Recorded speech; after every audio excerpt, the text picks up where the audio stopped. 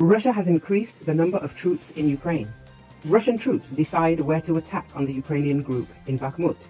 However, the scenario, according to Lysychansk, Popasnaya, and Severodonetsk were captured by Russia will not work with Bakhmut, Ukrainian military expert Alexei Arestovich believes. He noted that neither the tactics nor the strategy of the enemy have changed.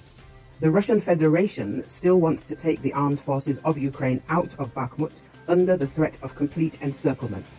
It cannot be said that this is a completely unsuccessful tactic. Lysychansk, Severodonetsk, Popasna, but in Bakhmut, the situation is a little different.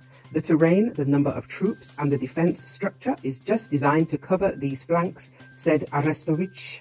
Said Arestovich. According to him, the Ukrainian command is quite ready for any considered threat from the enemy, as evidenced by the actions of the armed forces of Ukraine in the specified direction. The Russians will regroup.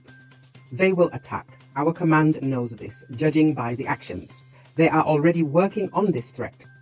Arestovich also confirmed that Russia had increased the number of troops to 340,000. About two months ago, there were up to 220,000 Russian troops on our territory. Today, there are already 340,000. They have increased the number and are going to use it to capture the Donetsk region, told Arestovich.